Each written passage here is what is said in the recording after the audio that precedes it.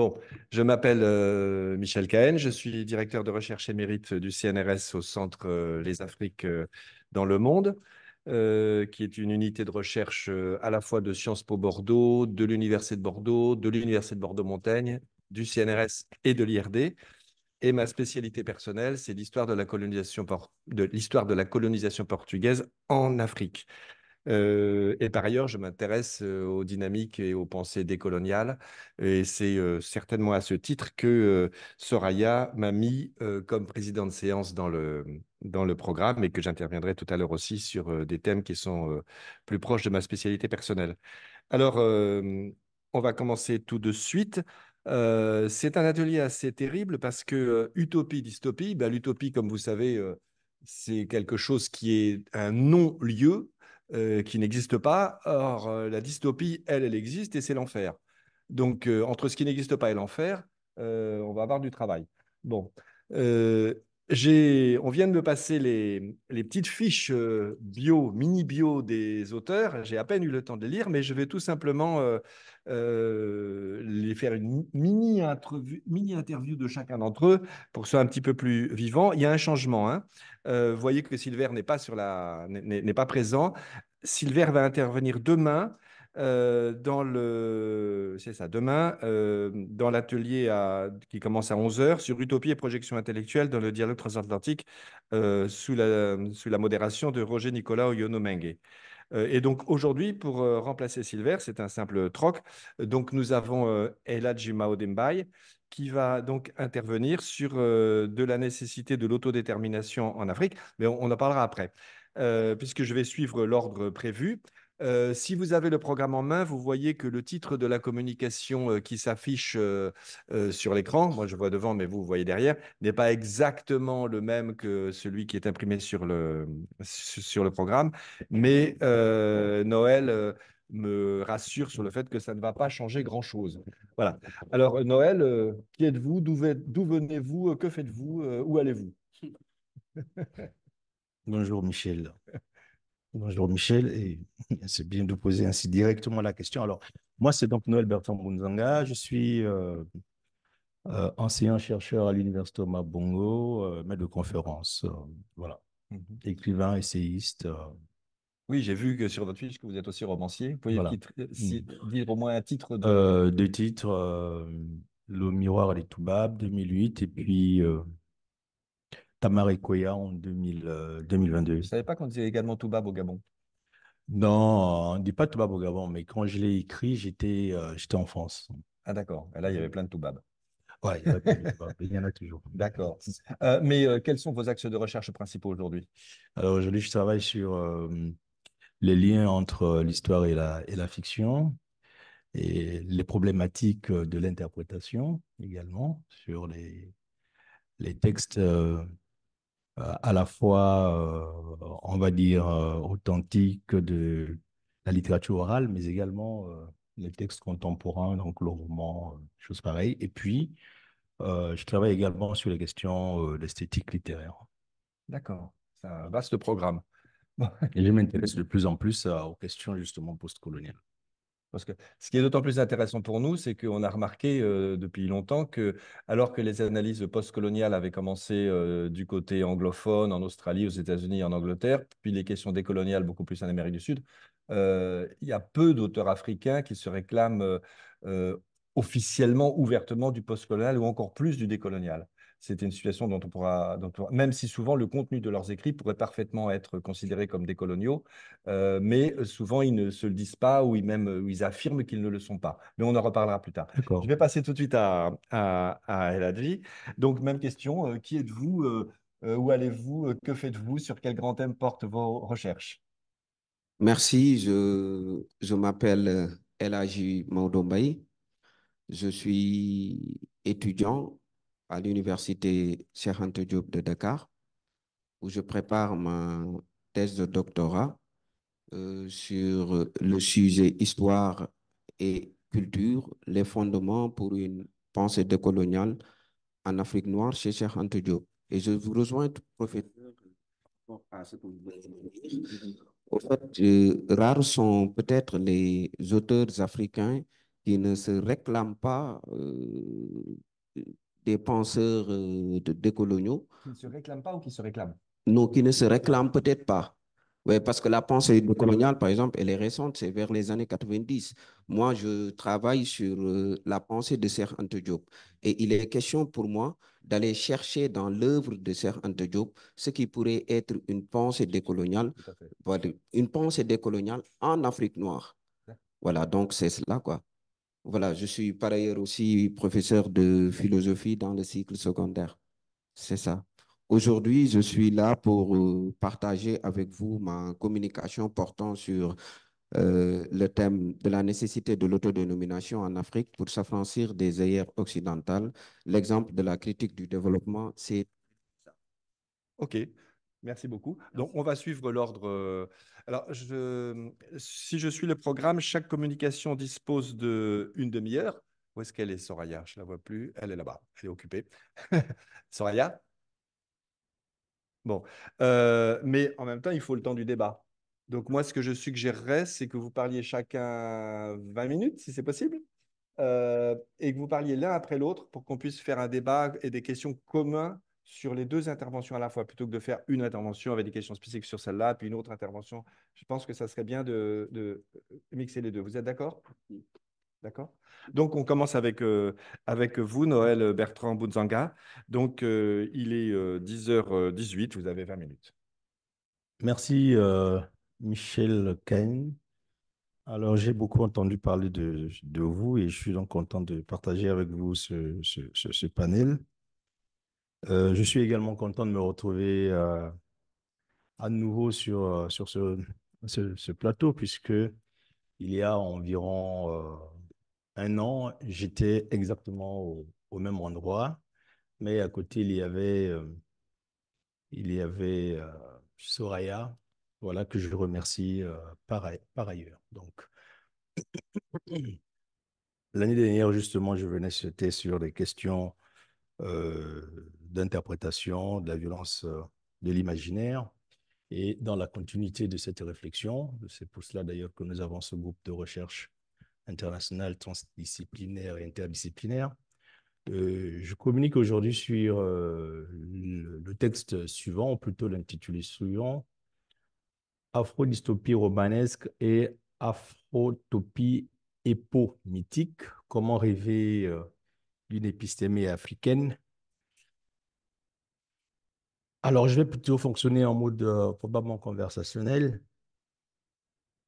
il y a beaucoup de termes dedans et, euh, l'un des enjeux euh, justement de, de communication, c'est l'élucidation des termes hein, euh, pour que nous nous entendions sur ce que les conclusions, les résultats auxquels je vais aboutir par rapport à ce questionnement comment rêver d'une épistémée africaine. J'emprunte les termes afro en fait, c'était Afrotopia. C'est pour ça que Michel avait raison de rappeler que les, intitulés ne correspondaient pas entre que ce qui est diffusé euh, sur euh, le PowerPoint et ce qui est dit dans le, le fascicule.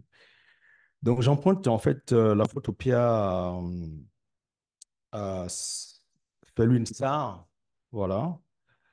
Et sa réflexion est beaucoup axée sur des questions économiques mais en même temps, ce que j'apprécie dedans, c'est qu'il euh, prend comme fondement de l'analyse euh, les questions culturelles, cosmologiques.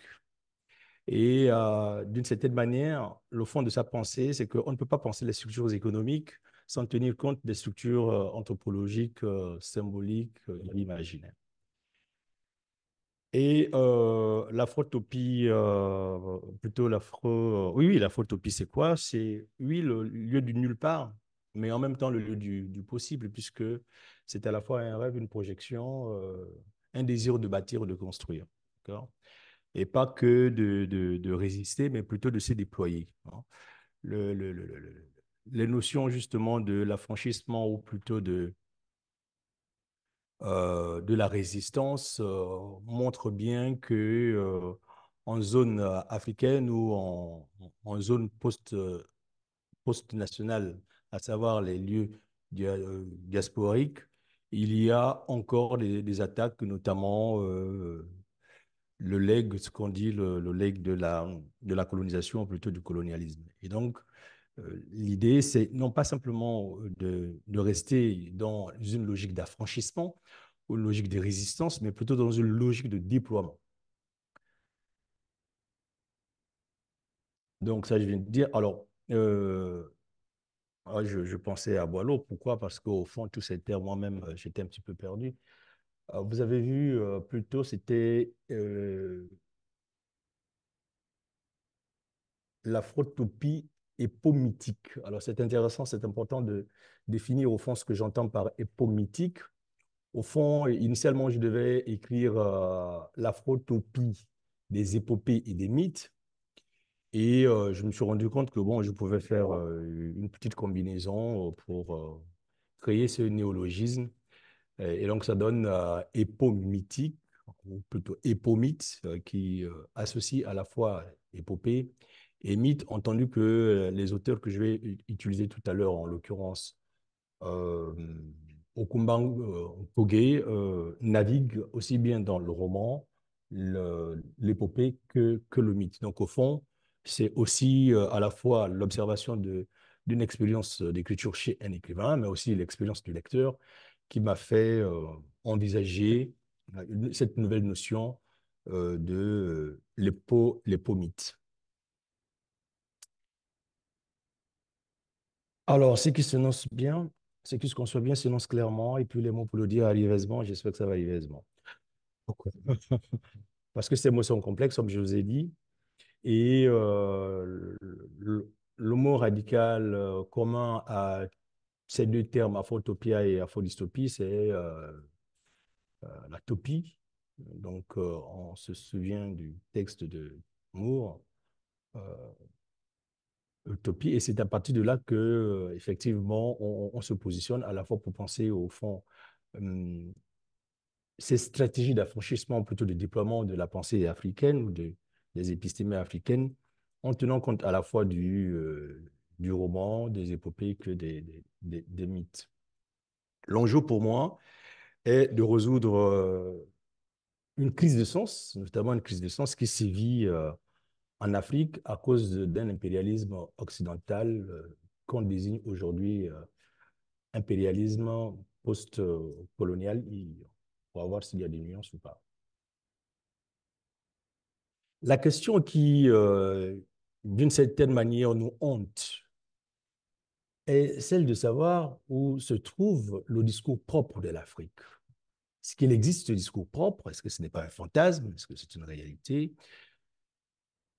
Quelle nouvelle théorie sociale et politique euh, reflète les dynamiques sociales en cours en, Afrique? L'autre question, c'est de quoi le roman est-il le récit? Et pourquoi le mythe et l'épopée, ce que j'appelle l'épomythe, peuvent-ils être la source d'une nouvelle utopie africaine et euh, afro-diasporique? Je vais du présupposer que euh, les Africains sont euh, en quête de sens parce qu'au fond, euh, ils sont insatisfaits de la modernité occidentale. Et donc, ils, perdent, qu'ils souffrent de la perte de leur tradition et qu'ils sont obsédés, hantés, par la recherche d'une autochtonie qui est ici l'autre nom aussi de l'afrocentrisme. Donc, il y a probablement une évolution des termes mais en général, la problématique est à peu près la même, c'est toujours la réinvention de l'Afrique à partir d'elle-même. Ce mouvement de recherche d'autochtonie n'est pas nouveau, donc je dis, il y a chez avant, il y a euh, les premiers Koma, enfin, ce sont des discours qui, à la fois, euh, sont politiques, mais également euh, épistémiques. Donc, ce n'est pas en réalité inédit. Mon hypothèse est la, suivante, c'est que les épopées, les mythes et le roman sont des lieux de la reproblématisation de la question des épistémés entre le Nord et le Sud. Dans les épopées et les mythes, une autonomie de la pensée est encore envisageable, tandis que le roman est en partie, c'est ce que je vais essayer de démontrer, le transport de l'idéologie occidentale et assure son hégémonie en Afrique. Pour parler de euh, l'afro-dystopie, au fond, qu'est-ce que je veux dire? Ce que je veux dire, c'est que entre les, les épomythes et le, roman, euh, le roman est le lieu de la transcription, de la peinture, au fond, d'une Afrique euh, dystopique. D'où je prends chez Joseph Tonda le concept d'afro-dystopie. Il intitule d'ailleurs son essai par le sous-titre suivant La vie dans le rêve d'autrui. Au fond, qu'est-ce qu'il entend par la vie dans le rêve d'autrui? Ben, En fait, il la vie en, Afrique est surdéterminée par la, valeur. Et cette valeur, au fond, c'est euh, la monnaie. Donc, ce sont les termes marxistes. La monnaie, le sujet automate qui prennent possession des, êtres, des individus. Et que euh, le lieu de la manifestation, ou plutôt de la matérialisation de la valeur, c'est l'État. Et que l'État, précisément, en s'octroyant les prérogatives de la violence euh, légitime, n'est-ce pas, est devenu à la fois le lieu de l'illusion d'une nation, mais aussi le lieu de l'opérationnalité de la, violence, qui, elle, est justement une violence post-coloniale. Et euh, qu'est-ce qu'il dit, entre autres, aussi, euh, cet état et donc les formes de la modernisation de la vie euh, en Afrique? C'est, au fond, l'échec de la, de la modernité. Parce que, au fond, l'odyssée de la modernité est devenue un drame, un processus inachevé. Et à partir du moment où euh, euh, le programme de la modernité a échoué, eh ben, Joseph en a dit euh, il y a une afrodystopie et c'est donc ma, ma. Et que cette afrodystopie manifeste à la fois par la valeur, le sujet automate, l'état et l'illusion des normes objectives, et ainsi que les violences, on les trouve dans le roman. Felwin Sarr et l'afrotopia lui, comme j'avais dit euh, au, début de mon intervention, critique l'économisme occidental, notamment contre la logique du, chiffre. il souhaite et il dit d'une certaine manière que dans le fond de la vie économique, il y a une euh, cosmologie et que les valeurs euh, symboliques, mythologiques, ainsi de suite, n'est-ce pas, euh, ont un impact sur l'organisation économique. Au, au, fond, les manières d'évaluer, euh, par exemple, les thèmes du développement en y affectant les notions de supériorité, d'infériorité, de retard, n'est-ce pas, sont euh, liées à une manière de vivre et que ça ne correspond pas toujours en réalité à ce qui se passe dans les États, d'où il invite très clairement à ne pas évaluer les économies africaines à l'aune d'un certain nombre de normes internationales dictées par euh, les institutions du, du Bretton Woods, d'où il invite à sortir de cette forme d'aliénation. Alors, quel est le régime romanesque des, valeurs? Quand on euh, ou plutôt qu'est-ce que j'entends par euh, le régime romanesque des, valeurs? Plutôt pour nous, d'une certaine manière, de quoi le roman est-il le, transport? Nous étudions, nous tous, le roman, c'est le genre de la modernité, le genre qui nous est contemporain. Et au fond, euh, il est parfois venu le temps du soupçon. Hein. On a le droit de, poser une critique à l'égard du, roman et lui soupçonner un certain nombre, je ne dirais pas de travers, mais de, pièges. Euh, de quoi est-il donc euh, le récit, ces romans que nous lisons, ben, il est en fait le récit de la, modernité. Et cette modernité, au fond, elle est caractérisée par quoi? Par l'essor de l'individualisme. Je verrai tout à l'heure comment ça se manifeste dans le roman.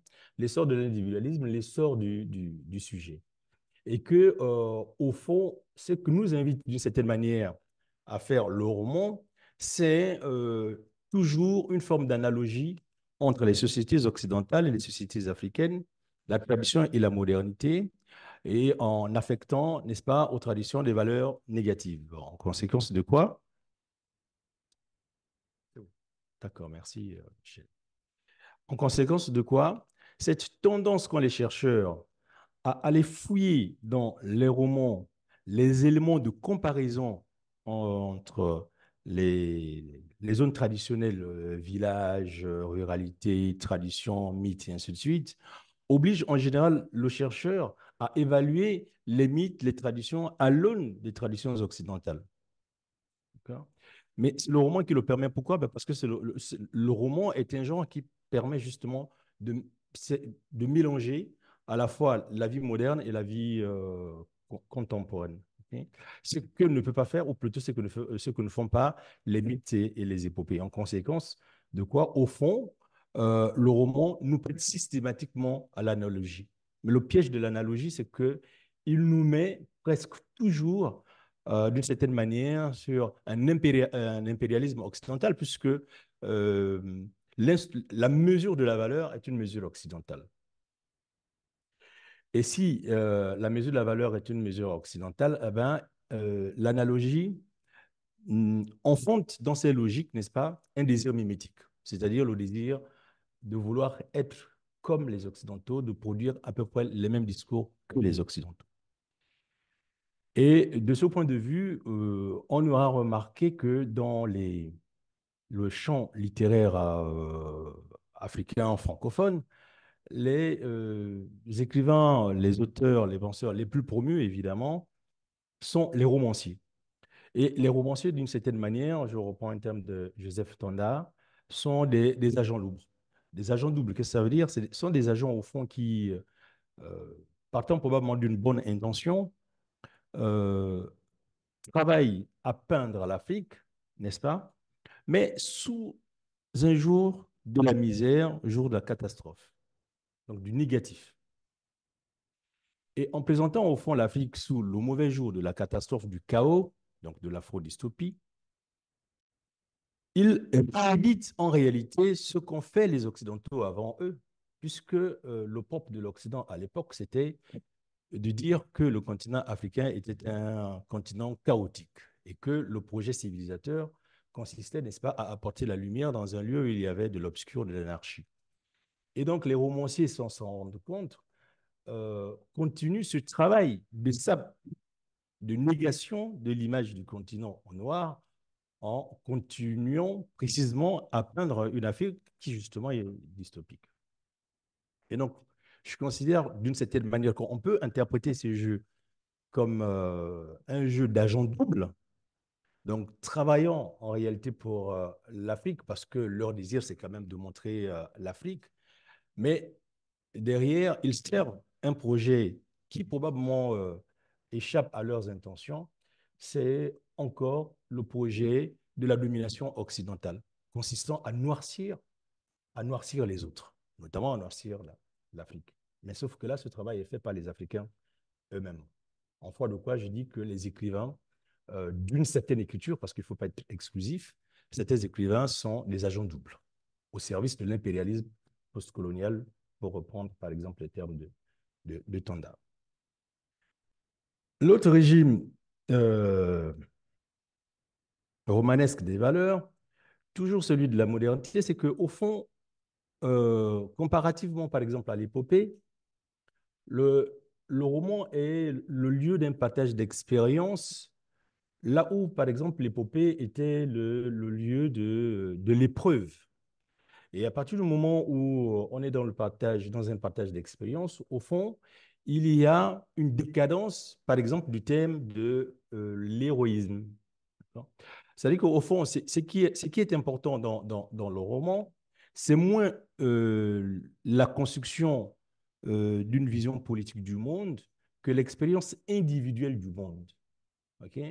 Et c'est la raison d'ailleurs pour laquelle, au fond, en reprenant d'une certaine manière la vision occidentale du monde qui, euh, dans son histoire, est une histoire de la raison et une histoire aussi de la liberté, bah, le roman africain vante beaucoup les personnages qui rendent compte de la liberté et qui souvent rompent avec les, traditions.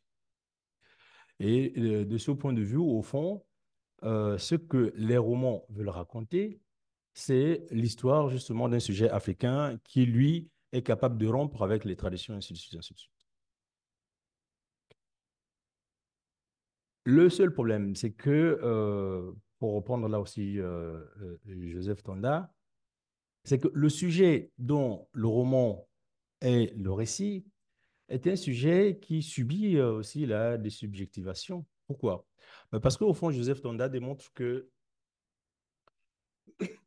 le sujet est surdéterminé par des éblouissements de la modernité. Et donc, sa, sa, psychologie, ou plutôt sa psyché, est colonisée par des, des images et qui lui privent de son autodétermination. Au fond, euh, il croit agir par lui-même, mais en réalité, il est agi par un certain nombre de fantasmes, d'imaginaires qui ne dépendent pas de lui-même.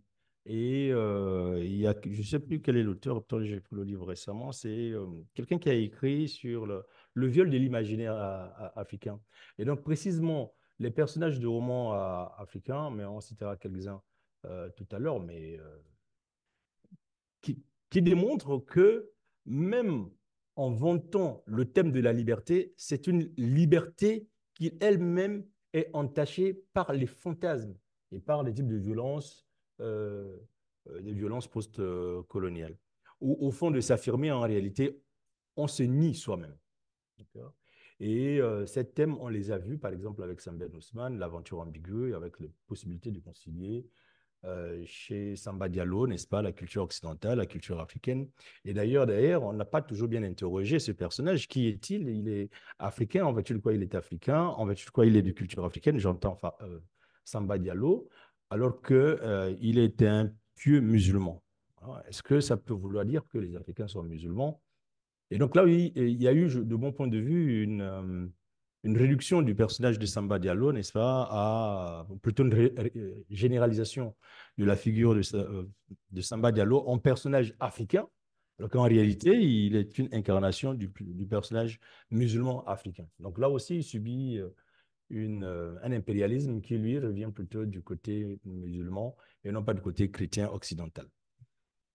On, voit aussi dans d'autres textes, hein, entre les eaux, d'accord,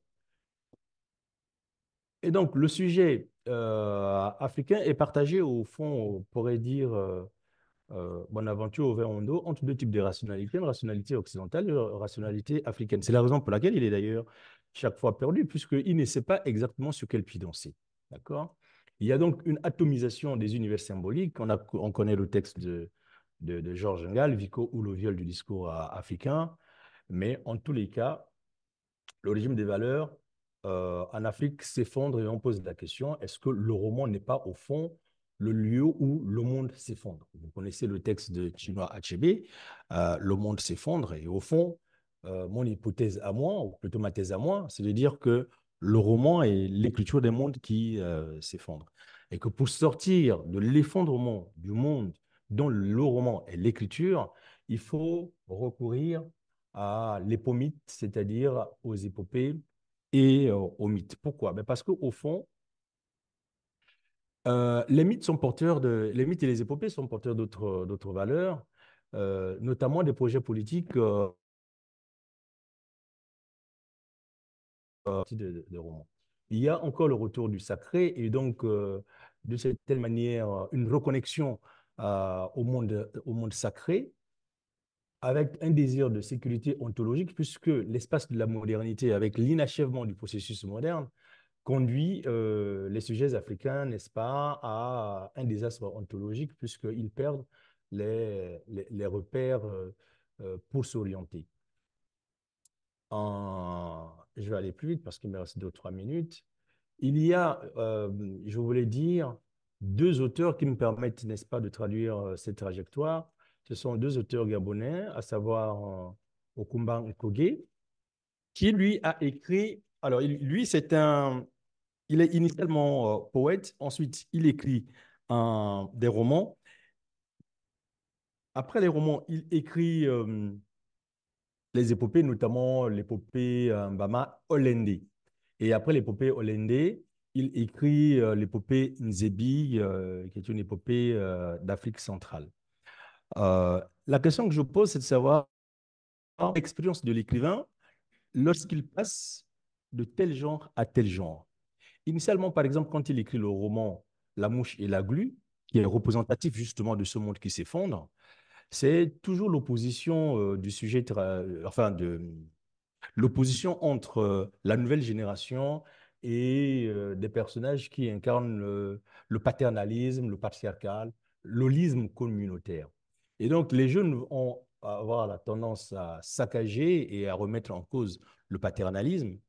Et ce roman est un roman très célèbre au Gabon, La, mouche et la glu. Sauf qu'après La mouche et la glu, euh, il va séjourner dans le dans, l'épopée. Je me suis posé la question de savoir, mais pourquoi euh, un, tel écrivain, hein, il doit avoir plus de 13, 16 euh, textes déjà à son actif, s'intéresse comme cela au, 23 ah merci. Donc, c'est énorme. C'est l'écrivain, je pense, le plus prolixe au Gabon. Pourquoi il s'intéresse à l'épopée? Mon hypothèse est que, d'une certaine manière, il a commencé lui-même à se rendre compte que le roman ne permettait pas de rendre compte de l'authenticité dont le sujet africain est en quête. Et que comme le roman est un genre hybride, si on veut penser une forme d'authenticité, il faut recourir justement au texte premier, les épopées et les mythes, puisque eux n'ont pas encore connu l'altération liée à la, modernisation des structures narratives. Et euh, on voit bien chez lui donc un nouvel intérêt, euh, une nouvelle redéfinition de l'espace d'expression, plutôt d'existence, où il démontre finalement que euh, pour repenser un projet collectif, il faut recourir, il faut revenir à l'épopée. L'autre écrivain, c'est, ah, et pas qu'aux épopées, mais également au mythe, puisqu'il romance ensuite le, le, mythe d'Élévus, qui est un mythe, qui est un mythe fond et qui permet au fond de, euh, réinterpréter le monde contemporain. Et puis enfin, euh, l'autre auteur, c'est euh, Divasa Nyama, qui lui aussi est un, un écrivain très prolixe, qui a écrit notamment deux types de romans. Deux trilogies, la trilogie de la calebasse et puis la trilogie La mer saveur de la liberté. Mais ce sont deux styles romanesques complètement différents. Alors tout à l'heure, je t'ai entendu dire que le, roman est la, scène de la fausse dystopie et donc de la catastrophe. Et là, dans le, premier modèle qui est un roman en fait pastoral bucolique, on voit déjà comment la tradition chrétienne, comment l'État colonial euh, s'ingère dans la vie euh, traditionnelle gabonaise et comment elle affecte euh, les représentations. Je finis là. Et là aussi, on va voir qu'il y a une évolution euh, de l'intérêt, on va dire, genrologique chez l'écrivain. C'est qu'il va laisser le roman bucolique et pastoral pour faire le roman historique. Et là, en reprenant le roman historique, il va écrire sur quoi? Il va écrire précisément sur les résistances coloniales. Pourquoi il revient en 2014 sur les romans, plutôt l'histoire coloniale, alors qu'avant, il avait plutôt commencé à écrire sur euh, la vie pastorale, comme je disais tout à l'heure. Au fond, naît aussi chez lui, je pense, cet intérêt collectif. Alors évidemment, il ne revient pas sur l'épopée, mais on voit bien qu'il y a un désir de la tragédie. Et on sait bien que euh, dans euh, le roman historique, il y a un désir d'habiller la vie contemporaine par des faits réels historiques. Et donc, il n'y a que le roman historique qui permet de réinventer n'est-ce pas, le, sujet, et donc de remettre d'une certaine manière en cause le, roman traditionnel par lequel il y a euh, une écriture du, chaos. J'ai fini par là parce que mon temps est terminé. Je termine, mais vraiment, je finis. Ah. Alors, est-ce que j'ai fait une critique contre les, le roman ou contre les romanciers? Il y a probablement un double positionnement de, mon propos, à la fois une critique euh, du roman, mais aussi une critique des, romanciers. On reviendra là-dessus euh, peut-être dans la séance des questions, avec le positionnement d'un certain nombre d'auteurs qui sont dans la, la dimension afro-diasporique. On discutera peut-être de ce que ça signifie au fond pour moi, un romancier euh, diasporique. Mais pour terminer, ce que je veux dire simplement, c'est que pour s'affranchir de, euh, des logiques coloniales euh, et impérialistes, il faut, par le biais de la littérature, penser le sujet africain, non pas par le roman, mais par les épomythes, à savoir les épopées et euh, le. Au fond, tout mon bavardage a consisté à dire cette, cette petite chose. Voilà, je vous remercie. Merci, Michel.